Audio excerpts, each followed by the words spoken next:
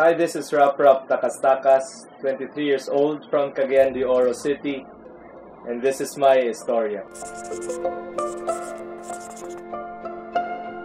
Growing up, I wanted to be successful and to be great. I always dreamed of becoming a renowned medical professional so that I could have the resources to own everything the house, the car, the material luxuries, and even to make a name for myself. However, my idea of success was challenged in high school when I was invited to join my community summer camp called Kairos. There, I had the opportunity to talk to God like He's someone very close.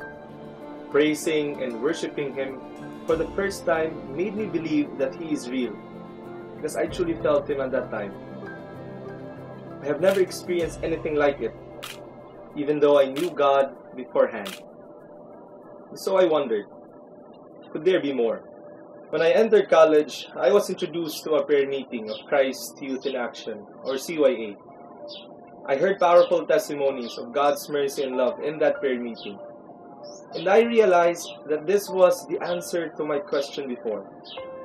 Truly, God has more in store. I saw how CYAers were so willing to give up their lives for God because they too had a personal experience of Him. I was inspired to live that way also. I started leaving behind initial ideas of success and tried living for God instead.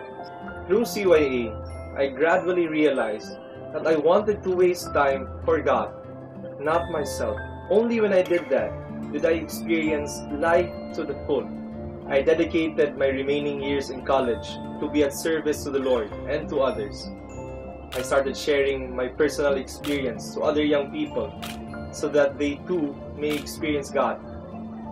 I made myself available at any given opportunity, and I always kept in mind that this life would be for the cause of spreading God's love and fullness.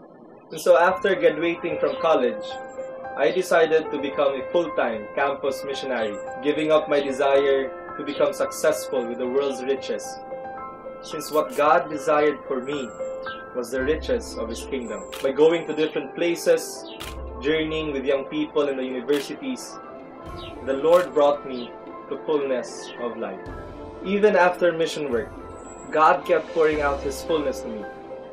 I was offered a government job where the schedule isn't that tight, and I could still earn enough to help my family while still being available for the mission. And this increased my desire and conviction all the more to serve the Lord and be available for Him whenever, wherever. And who would have thought that life before, riddled with things done out of foolishness for the world, could be saved to receive life to the fullness? All because of grace, all because of God's fullness of love. And that is my Eastoria.